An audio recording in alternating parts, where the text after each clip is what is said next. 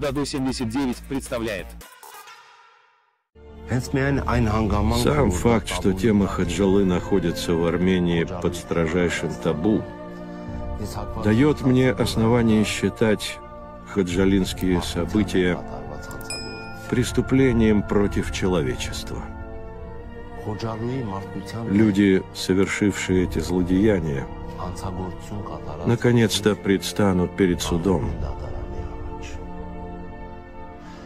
Я уверен, что это случится при нашей жизни. Я надеюсь, что армяне